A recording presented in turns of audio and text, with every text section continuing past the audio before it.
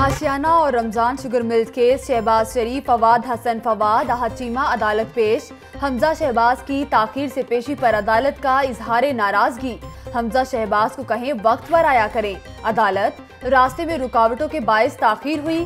وکیل حمزہ شہباز کا جواب، ایڈمن جج نجم الحسن کی رخصت کے باعث سماعت ستائیس مارچ تک ملتوی۔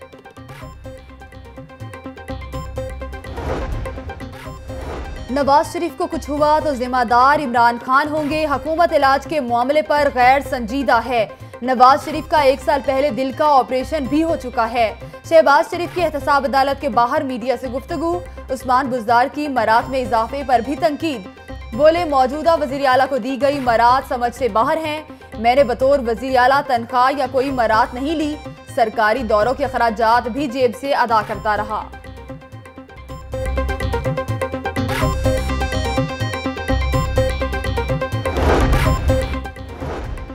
شہباز بھی اراکین اسمبلی کی تنخواہوں میں اضافے کے مخالف کہتے ہیں، موجودہ صورتحال میں ہم مرات کے متحمل نہیں۔ ہماری جماعت نے تنخواہیں بڑھانے کی مخالفت کی تھی۔ بالحکومتی اکثریت کے باعث منظور ہوا۔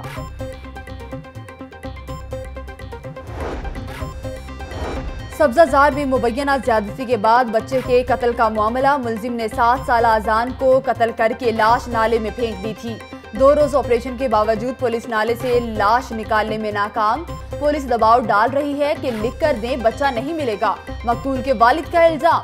وزیر پنجاب سردار عثمان بزدار نے واقعی کا نوٹس لے لیا۔ لواحقین کو انصاف کی فراہمی کی یقین دہانی۔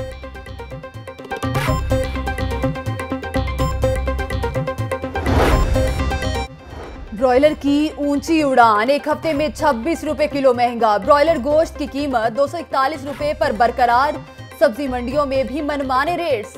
سرکاری نرخنامے کے برعکس فروخت جاری۔ اٹھاسی روپے والا ٹماٹر سو روپے بکنے لگا۔ سبز مرچ ایک سو چھیانوے کی بجائے دو سو پچاس روپے کلو فروخت۔ دس روپے کلو والے آلو کی قیمت بیس روپے مقرر۔